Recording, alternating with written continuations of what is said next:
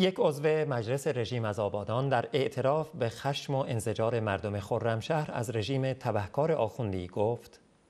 مردم اگر آب و آرامش داشته باشند که اسلحه نمی‌کشند تا تیراندازی کنند یا به رگبار ببندند ولی کارد به استخوانشان رسیده است. غلامرضا شرفی به برداشت های بیرویه از منابع آبی خوزستان توسط رژیم اشاره کرد و افسود مردم برای یک دبه آب در گرمای شدید ساعتها در صفهای طویل رنج می‌کشند.